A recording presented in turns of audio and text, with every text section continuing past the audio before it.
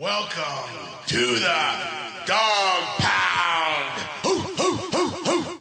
It's time for another episode of Terrier Tuesday. I'm marketing director Cody Buhler. This is your chance to get to know the players a bit better. You can find all of our videos on our YouTube channel. Make sure to like and subscribe, and we'll hopefully be getting to playing again soon. But until then, we'll be doing these remotely uh, via Zoom. Today, we've got Terrier goaltender Chris Fines joining us. Uh, Chris, uh, how's it been going? What have you been up to during the lockdown?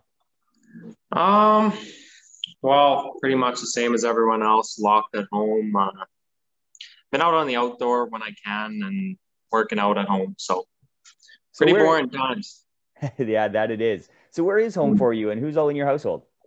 Um, I, I live in Stone, Stonewall, Manitoba. Um, right now it's just me, my dad, and one of my sisters. My mom and my other sister live in the city. So, All right. So, other than obviously getting out on the outdoor rink, have you been taking up any hobbies, learning to juggle, playing video games? What have you been doing other than working out? yeah. So I'm really hooked on fantasy hockey right now. I'm in three leagues, so been doing that on my spare time. Um, play lots of video games too. Yeah. And so, are you winning in your leagues at least?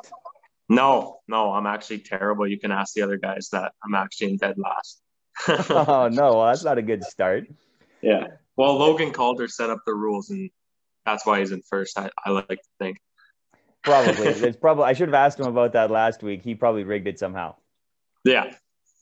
So, being the goaltender for the team, what drew you into goaltending? Um.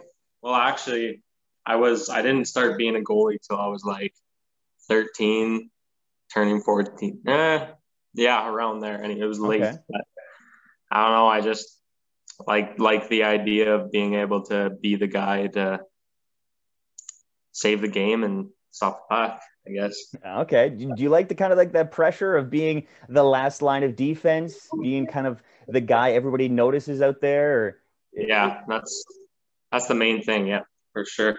I love being the guy that can steal games and win your team hockey games. And so now, uh, when you take a look at your game, uh, do you compare yourself to any NHL goaltenders? Who would you maybe compare yourself to? Because I know maybe a person who isn't a goalie expert is oh, it's the guy who stands between the pipe. But obviously, you know, Mhm. style wise, there's a lot of different styles. And who would you compare yourself to? Um, I like Pekka Rinne. Maybe I'm not the most technical goalie. I I rely more on my athleticism, if anything. All right, to get it sounds done. So let's get away from hockey for a second. It's Friday night. COVID's not a thing. Let's pretend that for a bit. What are you up to? Mhm. No Terrier game, no COVID. It's Friday night. What are you doing? Hmm. Probably go hang out with my buddies. Uh, watch the hockey game. I don't know. Like I'm pretty simple with that. I like seeing my buddies. Okay. And so then when you guys are hanging out, are you playing video games? You play pool, foosball, darts, like one of those kind of games, ping pong? Are you into any of those? Yeah, we like ping pong. That's that's pretty much all we do if we do hang out is we go to the guy's house that has the ping pong table and that's what we're doing. Sounds good. And so then would you be near the top as far as uh, ping pong goes? Is that kind of like your second Uh, skill? yeah, actually, I probably would be. All right. So when you said you watching the hockey game, what who's your favorite NHL team? Oh, hometown kid, the Jets. All right, cheering for the Jets. So Yeah. we're gonna ask some uh, rapid fire questions for you. So just say the first answer that comes to mind. Um, feel free to elaborate if you'd like. Um, so we'll start off: toast or cereal, Mm, toast, orange juice or apple juice, orange, for sure. tea, tea or coffee, Coffee, cake or donuts, mm, donuts, Coke or Pepsi, Coke, pizza or burgers. Burgers. Kind of a sure. food, kind of a food theme here. Um, let's get away from Mm. food. Let's go cars or trucks. What would you rather have? Uh, a truck, for What do sure. you have? What do you have now? I have a car. It's a Charger. Okay, nice. Yeah. Are you are you a, are you a vehicle guy? Are you into cars and trucks at all? Uh, to a point, yeah. I guess I, I I'm not I'm not really about the speed of the car, but I like the looks of it more. Okay, fair enough. And so now for you, um, you've got a couple years left of junior eligibility, and who knows what this season's going to be like once we get back playing. But uh, do you have any plans for after hockey? Um,